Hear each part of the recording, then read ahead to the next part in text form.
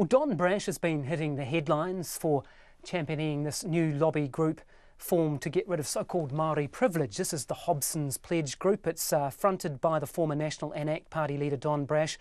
They're intending to pressure politicians into opposing race based laws and Maori seats in Parliament.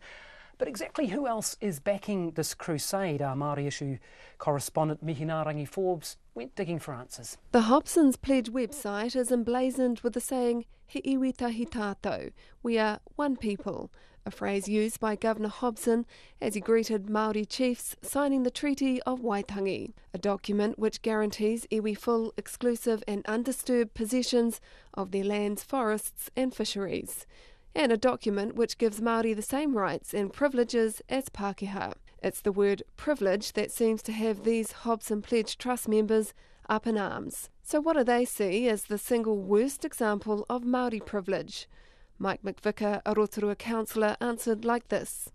The worst case would be I would suggest a misinterpretation of the Treaty of Waitangi. Former businessman Peter Shirtcliffe honed in on Māori representation. You've got places such as the Auckland uh, councils giving uh, Maori, people of Maori descent, preference in relation to the way in which they vote. Another member, author and businessman Andy Oakley, couldn't choose just one. Um, I don't think that's a question I can answer. There's there's many examples.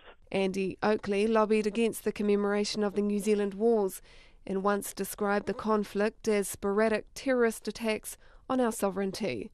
I asked him how iwi, who fought against the Settlement Act of 1863, which led to the confiscation of more than 4 million acres of land, could be classed as terrorists. But if there was a law made uh, at that time and was enacted by the government, it, it surely was not breaking any law. Hobson's pledge wants a so called colourblind New Zealand, but there was one group which featured frequently in spokesperson Don Brash's interviews. Maori ancestor, Maori, Maori, and Maori unelected tribal representatives, Maori, Maori, Maori, Maori. So, given the focus on Maori, we wondered what race the members considered themselves to be.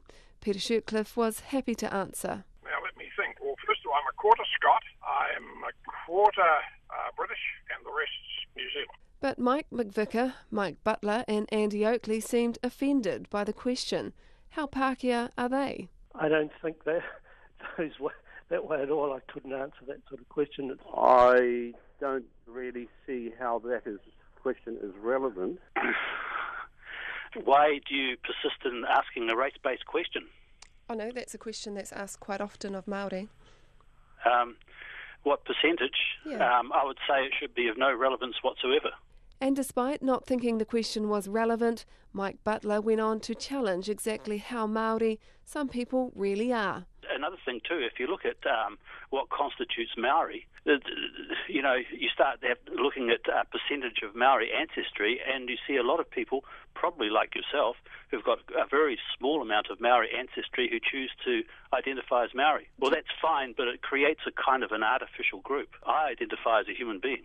So, what did the human beings think of Maori inequalities in health, education, life expectancy, or incarceration?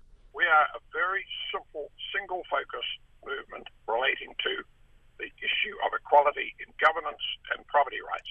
Other issues are not for us. Okay, just wondered, why do you think Maori are overrepresented in the prison system? 51%, only 15% of the population. I have no idea. I, I haven't studied that. We, that. That's not anything to do with Hobson's Pledge, not what we're on about. Maori leaders have called the group out of date, while the Labour Party says Hobson's Pledge is racist. Mo te hōtaka o te ahihei nei ko Mihingarangi Forbes ahau.